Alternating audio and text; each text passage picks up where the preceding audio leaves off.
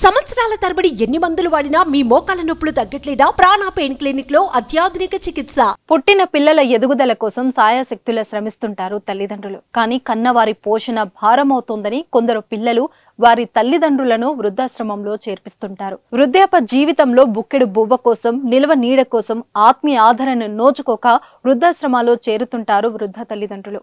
ఇలాంటి వృద్ధుల ఆశను ఆసరగా చేసుకుని కొందరు నీచపు పనికి పూనుకుంటున్నారు వృద్ధాశ్రమ నిర్వాహకులు. నీడనిచ్చి కడుపు నిండా భోజనం పెడతామని ఆశ చూపి వృద్ధాశ్రమంలో చేర్పించి వారిని గాలి కొదిలేస్తున్నారు. పెనం మీద నుంచి పొయ్యిలో పడ్డట్టుగా కటిక చీకటి గదిలో పడేసి అన్నమో రామచంద్ర అనంత విధంగా చివరి రోజుల్లో కూడా చిత్రహింసలు పెడుతున్నారు కొందరు నిర్వాకులు. ఈ ఇలా నానా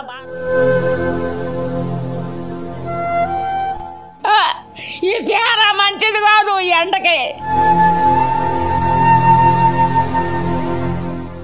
బట్ల ఇలా కులిపోయి ఉన్నాయి వాసన. అంటుకుపోతున్నాయి చెమటకి. ఓలు గుంజుతారు.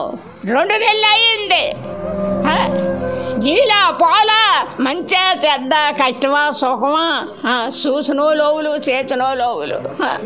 ఇలా దేగురుకొని దేగురుకొని అలా భూ పట్టుకొని అలా బుట్టలాడుతాను ఆ, చెత్త పారబోయినాక ఆ వరంటీలోకి.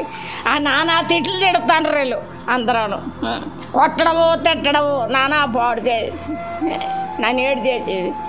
ఆ అమ్మ డాక్టర్ కాదు.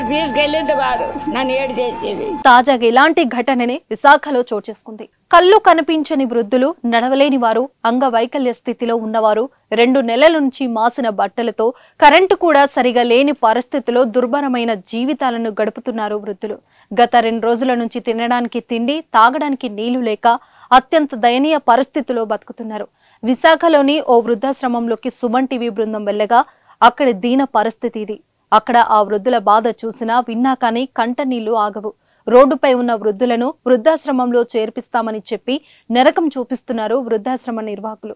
రోడ్డు పక్కన ఉండే తమను ఎవరో కొందరు వ్యక్తులు తీసుకొచ్చి ఈ వృద్ధాశ్రమంలో పడేసి వెళ్ళిపోయారని బాధిత వృద్ధులు కంటతడి పెడుతున్నారు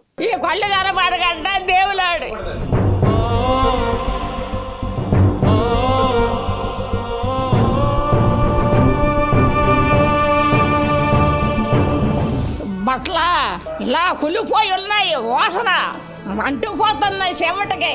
రెండు నెలలు అయ్యింది.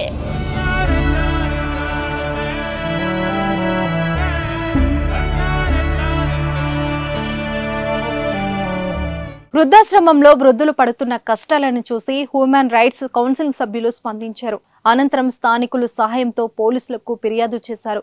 వృద్ధాశ్రమం నడుపుతున్నామని చెప్పి ఎక్కడెక్కడి నుంచో వృద్ధులను తీసుకొచ్చి కనీస అవసరాలు కూడా తీర్చకుండా వీరిని వృద్ధాశ్రమంలోకి ఎవరు చేర్చారు? ఎంతమంది ఉన్నారు? అనే కోణంలో పోలీసులు విచారణ చేపట్టారు.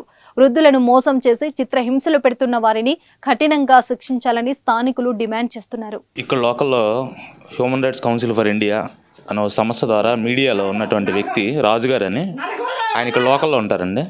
ఆయన ఆశ్రమంలో ఈ విధంగా జరుగుతుందని ఆయన వచ్చి వీళ్ళ దగ్గర వీడియో స్టేట్మెంట్ తీసుకొని సంస్థకి ఇన్ఫామ్ చేయడం జరిగింది. మేము ఇక్కడికి వచ్చి చూస్తే వృద్ధులు చాలా దయనీయమైన పరిస్థితిలో ఉన్నారు. ఒక రకమైనటువంటి వాసన వాళ్ళకి సానాలు లేవు భోజనాలు లేవు అని చెప్పిన వాళ్ళు డైరెక్ట్ వాళ్ళే చెప్పడం జరిగింది. మా సంస్థ నుంచి మేమేం చేసామంటే ఆర్లో పోలీస్ స్టేషన్లో సంస్థ తరపున సంస్థ లెటర్ యాడ్ మీద కంప్లైంట్ ఇవ్వడం జరిగింది. ఆర్లో పోలీసు వారు సంబంధిత వ్యక్తులను పిలిచారు. వాళ్ళు ఏమని చెప్తున్నారంటే ఇది కేవలం సంస్థ ఒకప్పుడు రన్ చేసేవాళ్ళు. వాళ్ళు మాకు అప్పచెప్పి వెళ్ళిపోయి ఇక్కడ రెంట్కి తీసుకొని అద్దె కూడా కట్టకుండా వెళ్ళిపోయారు వాళ్ళు అని కుమార్ అనే వ్యక్తి పేరు వాళ్ళు చెప్తున్నారు.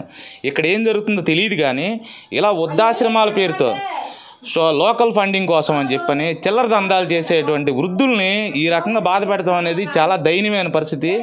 ఖచ్చితంగా ఇటువంటి కర్మ ఖచ్చితంగా అనుభవిస్తారు వాళ్ళు. కానీ ఏదైనా సరే మేము చెప్పేది ఒకటే ఏ సమస్య ఉన్నా సరే హ్యూమన్ రైట్స్ కౌన్సిల్ ఫర్ ఇండియాకి మీరు తెలియపరిస్తే మేము అందుబాటులో ఉంటాము. సమస్య మీది పరిష్కారం మాది. ఎటువంటి సమస్య మీ ప్రజలకు ఏదున్నా సరే మేము అందుబాటులో ఉంటాము. సుమన్ టీవీలో మీ పర్సనల్ అండ్ బిజినెస్ ప్రమోషన్స్ కోసం కింది నెంబర్కి కాంటాక్ట్ చేయండి.